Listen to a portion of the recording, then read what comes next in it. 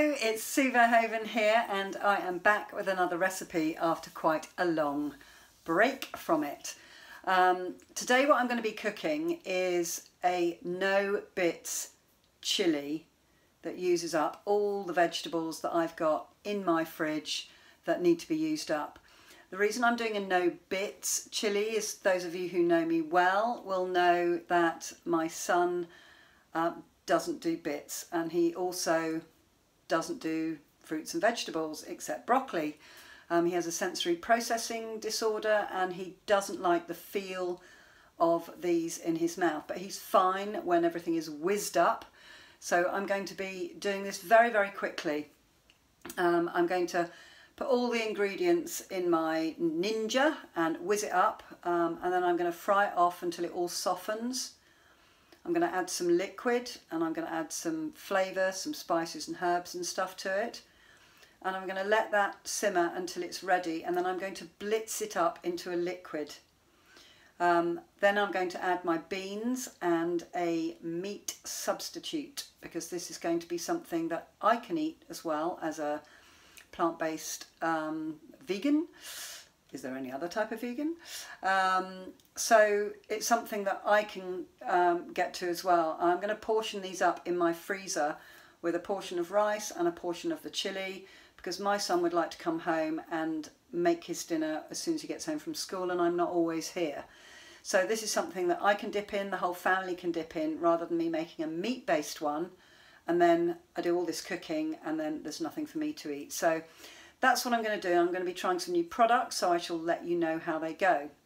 So, what are my ingredients that I've got hanging about in my fridge? Well, I've got red and yellow peppers that I have had some of for a salad. So I'm going to be whizzing those up and using those. I have got some, and I'm going to put all the nutritional benefits of, of the, the fruits and uh, there are no fruits in this, the vegetables in it, um, so you can see on this video. Um, carrots, I've got these little baby kind of multicoloured carrots, yellow, purple and the usual orange carrots, so I'm going to put them in. I have got some broccoli that needs using up, so I'm going to put these babies in it. I have some cauliflower, um, quite a bit of cauliflower. I'm not going to put it all in because I have a massive cauliflower. Um, but I'm going to put some cauliflower in this. I have a tomato that I chopped up for a salad. I have got some fine beans. I love these. Um, they're going in it as well. Um, a courgette or zucchini that I've got that needs using up, so that's going in it as well. I have some portobello mushrooms that I didn't get around to doing anything with and they are going to go in as well because mushroom gives it that kind of meaty texture which I'm going to be looking for. Um, I also have some kale which I'm going to be putting in. Um, this needs eating um, so I will show you me prepping it ready to get whizzed up. Oh, what spices am I going to use? Um, I'm going to be using some ground cumin and I'm going to kind of freebase this really. Um, cayenne pepper. I'm going to be putting some turmeric in it because it's so good for you and I like the colour it makes it go. And some paprika, that's going in it as well. And I've got a few chili seeds left because I've eaten the whole packet of this in about the last two weeks. Um, I'm not going to put too much in because um, my family always complain I make it too hot, but I try it and it doesn't feel hot to me, but it blows their heads off. So I'm going to try and be careful. Um, so the beans I'm going to use are red kidney beans. I like to put a mixture of beans. There's nothing that says that you have to just put red kidney beans in a, in a, in a chili. So I love the taste of red kidney beans. My son loves all pulses, so that's a winner. Um, black-eyed beans are going in and I've got some adzuki beans which are also going in. So these are going to give it different sizes of beans, different colours, etc. So what I'm going to do with these beans is I'm going to rinse them really well. Although they're all in water, it doesn't say salted water, there will be salt in there and I want to rinse the salt off them because I don't want too much salt to be going in the dish. I won't be adding any salt myself. Um, I have got a handful of garlic cloves here. So I should be putting garlic in it. Um, and this is the mince that I'm going to be using, which I've had in my freezer. And I'm going to treat it just like normal mince and cook it from um, uh, frozen. It's from a company called the Meatless Farm Company. And this is completely plant-based. Um, so I haven't tried it before. But as you can see, it looks like mincemeat, but it's not. It's plant-based. And what is it made of? Do, do, do, do, do. It's soya protein, so that's really, really good for you. Um, it's got pea protein in it as well, coconut oil, um, and it's got some other. This is obviously a processed product, but what I'm trying to achieve is a healthy meal for my son that he can make himself, that he will enjoy, that's home cooked, that's packed full of vegetables and goodness. Um, so that's what I'm trying to achieve, and I know there'll be a lot of mums out there whose children don't like bits but they want to get some more fruit, more vegetables or fruits into their diet, and this is a great way to do it. I've been cooking like this for a long time for my son. Otherwise, I don't think he would have had a vegetable in ten years. So, um, let's get prepping. Hello, I'm back again. I forgot to mention onion. You need a trusty onion in a chilli, I think. So I'm going to rough rough chop this they're just going to go in my whizzer. My ninja, my little kitchen helper. Beans, they're just going to go in as well. Me just chop them a bit in half. I've already, I've already taken the tails off these. Okay, pepper. I don't even know why I'm chopping them this much, I don't need it, but hey ho, I like to do a bit of chopping with my knives. Things are going everywhere, so I'm being all quick and efficient, maybe not as efficient as I'd like to be. so this will give it quite a bit of liquid, the peppers are, as you know, full of water. So it helps to give it a liquid with flavour. So Tommy, stick that in. Tomato. And I'm going to stick these carrots, which I've already taken the ends off in as well. And I think that's probably enough for the first whiz. Time for some whizzing. There. I didn't look how many seconds that was, but seconds rather than minutes. Looks like a salsa, doesn't it? Looks delicious. So as I've got, got more than one bowl full of this, I've got a bowl here that I'm going to tip it all into. So I can load it up again with the other vegetables. Smell is insanely gorgeous. As you know, I'm all into my smells. Love the smell of vegetables. Gosh, I should really make that into a salsa really. Wouldn't that be delicious? Nom nom cauliflower. Mmm. I do like raw veg.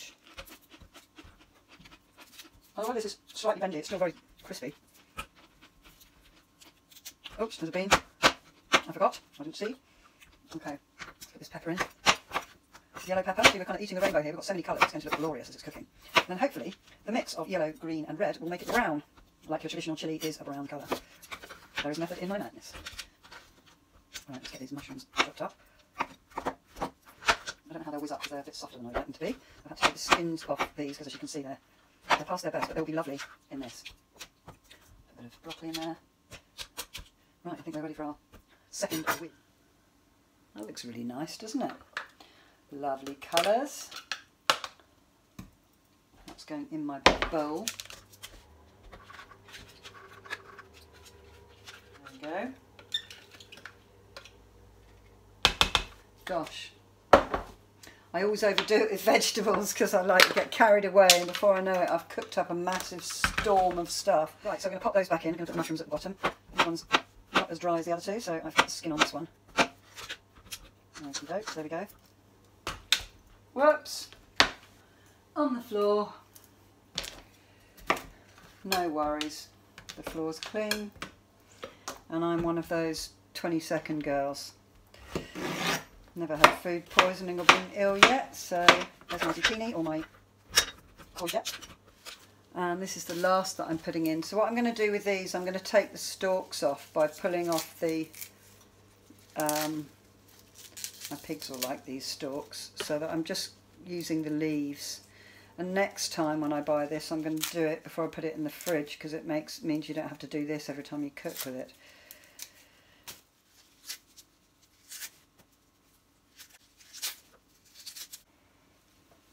Here's my kale. I wonder, I wonder if this is going to manage all this dry kale. I'm sure it will. It's got massive sharp blades on it. Okay, so that's everything except my garlic, which I shall crush in later. I've done that for a bit longer because the kale was kind of stuck at the top, which it still is. Okay, I have to do a fourth whiz. Those bits out. I I overfilled that a little bit. But this is all going to get whizzed up again when it is cooked and soft.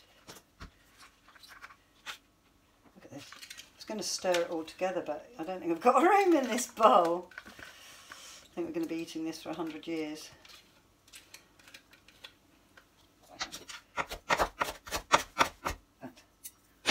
That is my chopping knife.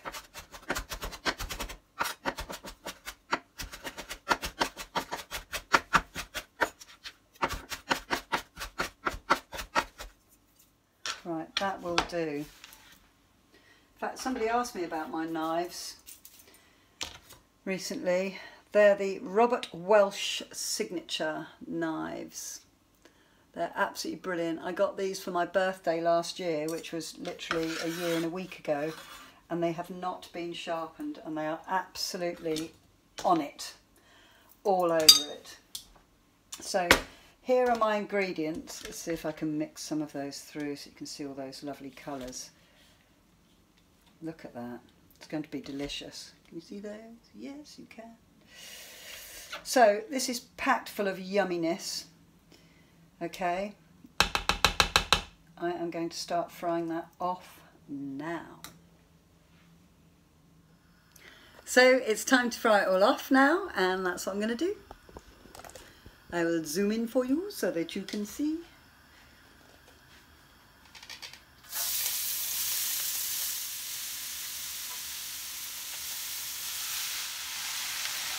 That's all gone in beautifully. These are great, these little spatulas, because you don't have to waste anything, as you know. I'm a waste not, want not. Can't abide waste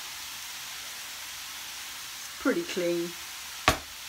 And of course there's a few bits in the whizzer still. So they've got to come out as well. Can't leave them. Good bit of courgette there.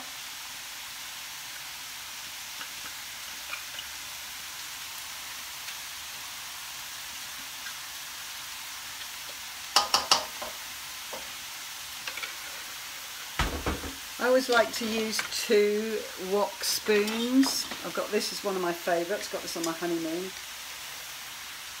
Coconut wood, and this one was from Ikea, and they don't make them anymore, and I love it. So I put a little bit of olive oil in, in, the, in the pan. I know strictly that's processed, but it's a good oil. It's already quietening down now.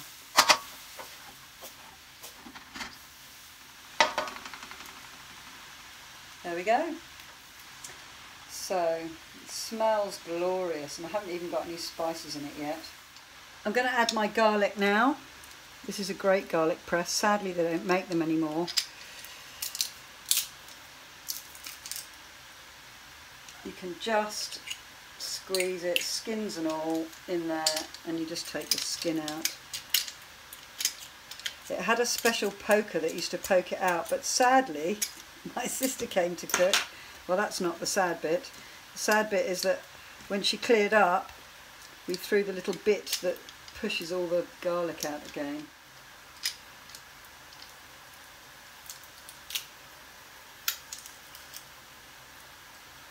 Like a bit of garlic. I'm going to add a couple of cups of water to this, just to give it some do because I don't want to add any more oil and there is rather a lot in the pan. There we go. So this will soften, that liquid will all be boiled away I should imagine. That's softening up nicely now. So that it doesn't all evaporate, I'm going to put a lid on it. Turn it down to simmer. Hello, it's Su Verhoeven here again. Um, I've been simmering this for about 10 minutes. Um, it's not as soft as I would like it for my son, but this is way plenty enough for you because you want some bite on this if you're not actually making this for somebody else. In fact, you could put all these vegetables in without mincing them up so much. So, where's my trusty fork? This is still a bit crispy to the bite because I've got a lot in here. And when I whiz this up, it will have bits in it and I won't get it past my son. What I'm going to do now is I'm going to add some herbs and spices to it. Where's my trusty tiny little teaspoon? I don't think that will fit in there. No, that won't. So that's about two teaspoons of turmeric. I'm going to put. Oh, Alexa's getting in the act. This is um, a heat table teaspoon of paprika. Paprika! Ground cumin. Heat tea, tablespoon. Tea, teaspoon. You can't see me adding this, can you? Because I haven't adjusted my camera. It's there. And cayenne pepper. I'm going to go a bit easy on this because they said it was too peppery last time. So that's kind of, well, maybe not that easy. A level teaspoon of that chilies.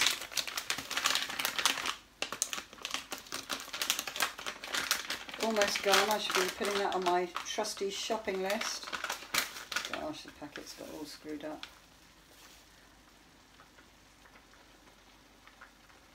That much. And hope it's not too hot. You can always add more, that's the thing with chilli. So I'm just going to fold this in now add some of the chili flavour to the veg. Mmm, those aromas are really, really delicious. It's already turned it a slightly yellowy colour from the turmeric, which is so good for you. I kind of add it to just about everything now. I really love the background flavour of it. Now the taste.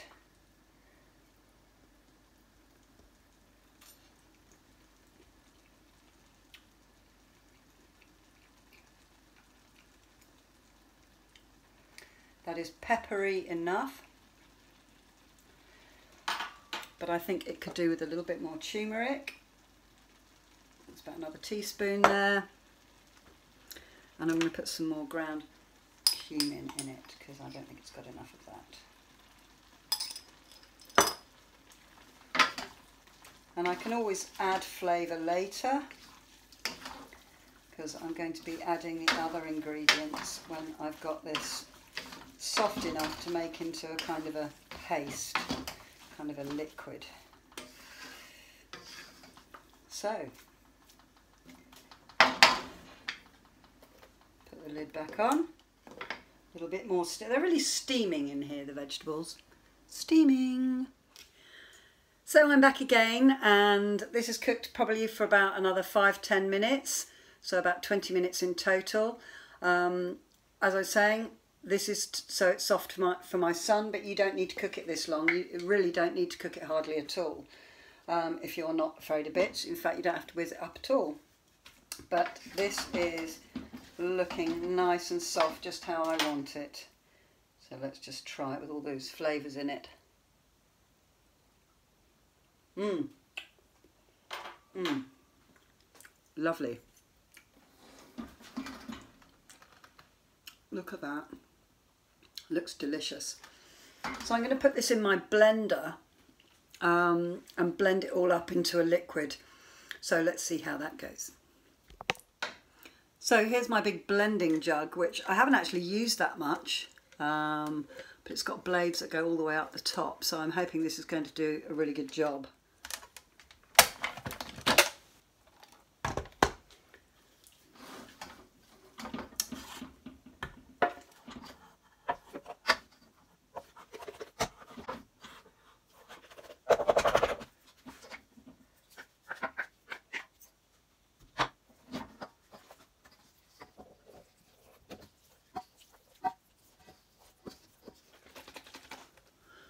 It's all gone in.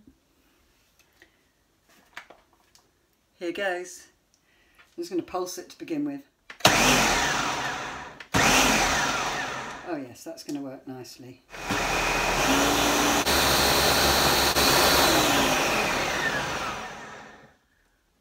That has worked wonderfully. Actually, what I did is um, I stopped making up myself and I just pressed the uh, the food puree menu, which does the whizzing and the pulsing and the different speeds to make sure that it all gets incorporated. Look at that. That is going to be just fine, I think. Let me just get a spoon. Need a spoon now.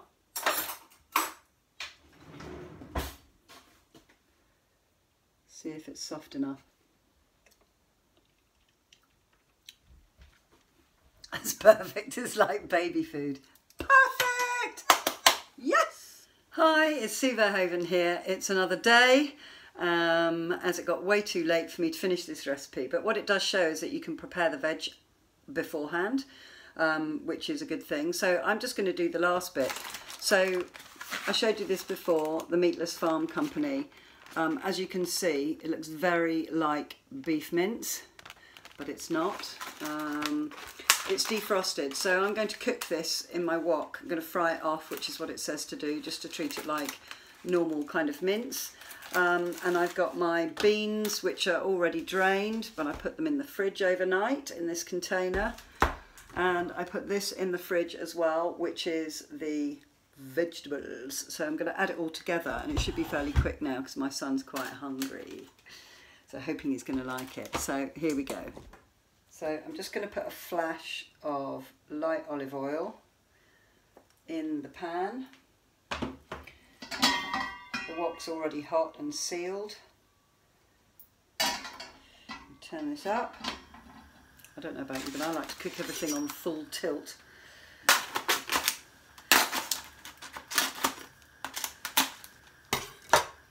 So here goes, let's see. That smells really nice actually.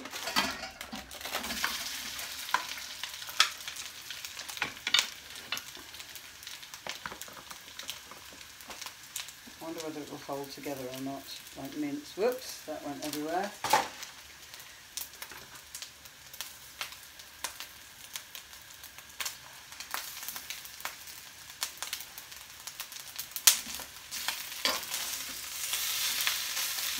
Seems to be already.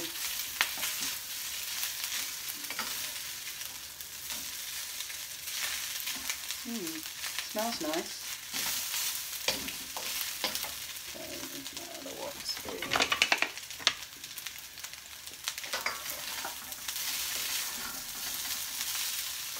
Want to get it, get it kind of brown really. Oh, it smells nice. I'm going to add some seasoning to it my trusty black pepper, which I love on everything, including strawberries. Have you tried strawberries um, with black pepper on them? Oh my goodness me, it's just sensational. Turn it down a bit. It seems to have absorbed all that oil already. Just want to break it up into its bits because I'm going to let it cook in the vegetables. Now, I would say you have to be careful not to smash this into just a paste, which obviously meat wouldn't go like that. It's pretty cool. Oh, it smells really. it smells really delicious, actually. Just let that cook for a little bit. It's cooked off a little bit. I'm going to have a little taste now. Uh, get a bit that's brown.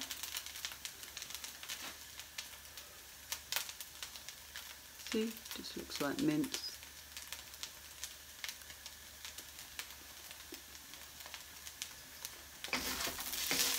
Um,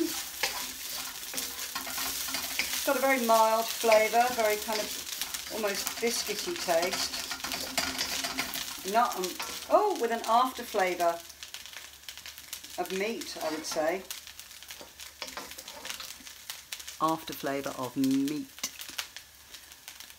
But it's not meat. Okay, I'm going to add my beans now. There they are. That is going to be a lot of chilli.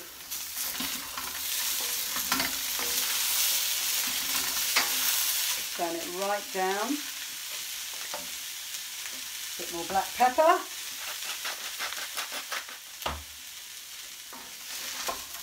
I have stirred off the beans um, with the um, imitation meat and I'm now going to add this to it.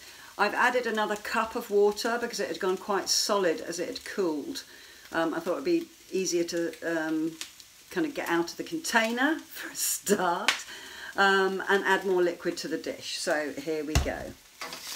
See, they're just stirred together now. They look really nice, don't they? Look at that. Lovely. Adding more brown to the colour I'm looking for.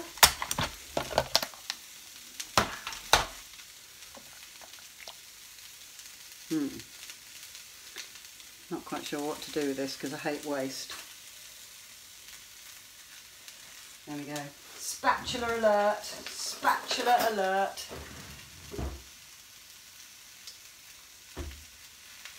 If I'd done this when it was hot, it would have all slid out, but that isn't always what happens in life. Sometimes you have to put it on ready for another day. Okay, I'm going to get over myself with that.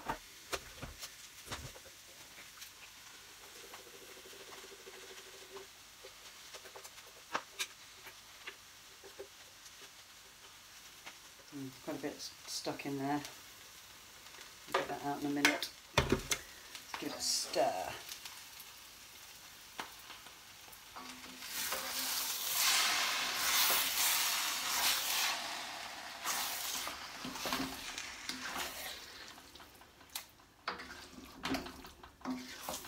Oh, it smells like chili now.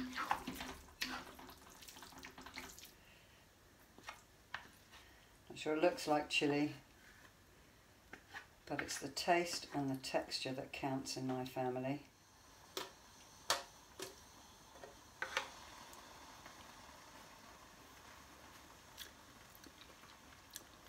Oh, that's gorgeous.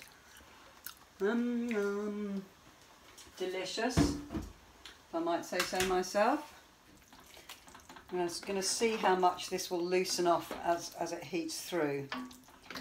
And if not, I may add some more water to it. I don't want it to be this thick, but there are a lot of vegetables in here.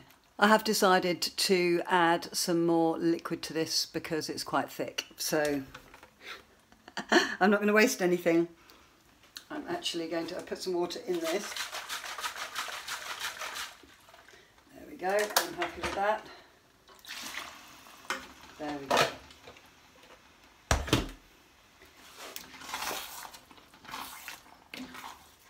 Because something as thick as this, it will be easy to scorch the bottom of it. Because it's kind of, it's not going to non-stick, although my wok is very well seasoned and it is non-stick, it wouldn't be with this kind of consistency. I may even add some more beans to this. Seems to be more vegetable and less bean. A little taste. Little taste with the beans and the meat.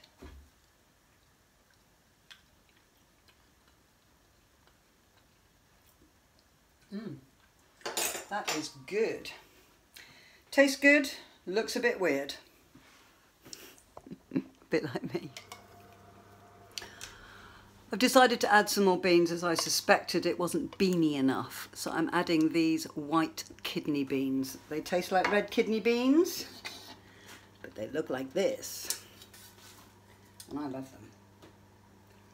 Yum, yum, yum. Just a few more beans through this.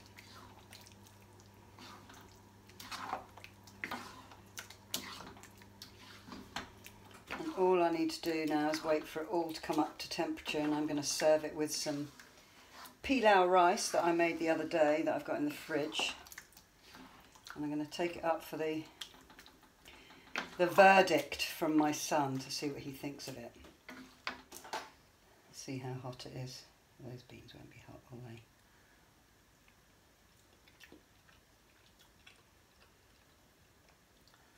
That is really, really, really good. I, of course, will slather mine with a lot more chilli than this. It's got a nice bite to it, not too much of a bite. I am hoping I've got this right this time. It's all heated up now. It's looking fantastic.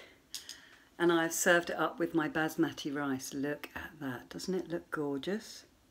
It tastes gorgeous. I've had quite a few mouthfuls of this. Um, but I just literally had to heat it through and it's ready. So fingers crossed he likes it. Bye. It's a winner with my son. I'm so happy because a lot of this is going in the freezer for him. So that's just brilliant. He said it was very good on the flavour stakes and the consistency is just perfect. So I am delighted. I'm going to have some myself now. Okay, lots of love to you all my lovely lovelies. Mwah. Bye.